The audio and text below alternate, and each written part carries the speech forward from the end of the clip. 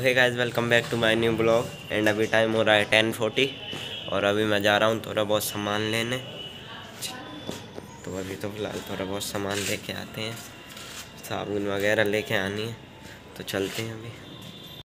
Guys अभी सामान तो ले आया हूँ। अब चलते हैं, इसको रख देते हैं अंदर।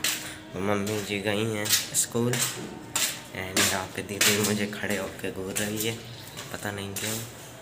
दीदी भागती हुई। अभी तो ट्वेल्व फिफ्टीन हो रहा है एंड मैं बना रहा हूँ मेरे लिए रोटी, क्योंकि मम्मी को स्कूल जाना था तो वो नहीं बना गई जल्दी जल्दी में, सब्ज़ी बन गई है तो फ़िलहाल तो मैं मेरे लिए रोटी बनाता हूँ। देखते हैं कैसी बनती है। पहली रोटी की शेफ, सेफ़, जो कि गोल तो बिल्कुल नहीं लग रही है। अभी इसको थोड़ा सेकते हैं। थोड़ा क्या? पूरा ही सेकते हैं। मैंने अब मेरे लिए रोटी बना ली है एंड ये सब्ज़ी। रोटी बनी तो सही है, लेकिन उनका जो शेफ था, वो कुछ ज़्यादा ही अच्छा बन गया। गोल की जगह पता नहीं कौन कौन से शेप बना दिए मैंने तो टेस्ट में तो मस्त होंगे। तो अभी तो फ़िलहाल खाते हैं। तभी चलते हैं पापा जी को टिफ़िन देने, एंड मौसम भी मस्त हो रहा है, बादल हो रहे हैं, बढ़िया। तो फ़िलहाल तो चलते हैं।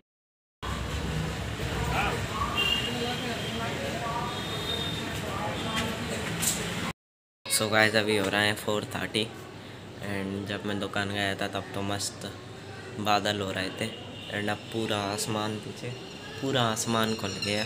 फिर से वही धूप आ गई। मैं सोच रहा था तब कि सा, चार, साढ़े चार बजे तक ऊपर चलेंगे मस्त, घूमेंगे थोड़ा, लेकिन इतनी तेज़ धूप आ गई। तो अब शाम को ही चलेंगे, साढ़े पाँच छः बजे तक। एंड दीदी तो गई है उसकी फ्रेंड के घर। स्कूटी लेके तो मैं कहीं जा भी नहीं सकता। पैदल कौन जाएगा इतनी धूप में? तो अभी तो फ़िलहाल अंदर चलते हैं। कोई और ऑप्शन तो ही नहीं है अपने पास। भाई अभी तो मैं मेरे लिए दो आम ले आया और मम्मी जी बना रही थी सिमैया की खीर। तो मैंने बोल दिया, मैं तो आम ला रहा हूँ तो मस्त अपन तो मैंगो जूस बनाएँगे आज। कितने, एक साल हो गई, अगले साल ही खाया था। मतलब मुझे पता है अंदर से तो मतलब ये ज़्यादा अच्छे नहीं निकलेंगे, पर अपन को तो जूस बनाना है, शक्कर डाल लेंगे। तो अभी तो फ़िलहाल इनको, इनका जूस बनाएँगे थोड़ी देर बाद। अभी तो मम्मी काम कर रही हैं किचन में थोड़ा बहुत। हमारा अमरस तो मस्त रेडी हो गया है। एंड अभी इसको रख दे रहा है फ्रिज में। ठंडा होने के लिए बढ़िया। मज़ा आ गया। अब चलते हैं नीचे।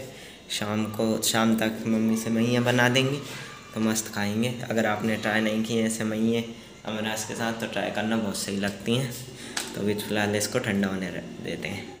सो so गाइस अभी शाम के हो गए हैं सिक्स फिफ्टी सेवन एंड हमारी खीर तैयार हो गई है। ये मैंगो जूस विथ सेमैया। तो बहुत मस्त लगता है तो फ़िलहाल तो ऐसे पीते हैं। एंड आप भी ट्राई करके देखना, मस्त लगता है अभी फ़िलहाल इसको पीते हैं। तो गाइस अभी मैं ब्लॉग बिल्कुल भी नहीं कर पाया रात को, क्योंकि मम्मी जी शादी में गई थी, वो मेरा फ़ोन रख के ले गई। तो अभी तो करते हैं वीडियो को एंड आई होप आपने वीडियो को एंजॉय किया होगा। एंजॉय किया तो बेटा थम्स अप चैनल पे नया चैनल सब्सक्राइब कर दो।